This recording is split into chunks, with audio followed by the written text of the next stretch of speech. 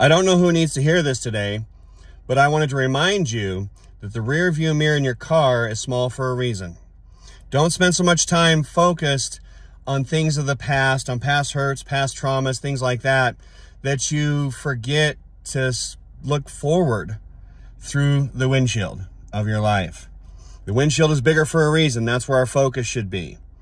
So remember, in this new year, it's okay to reflect on what happened in the past, but be mindful of the road ahead of you.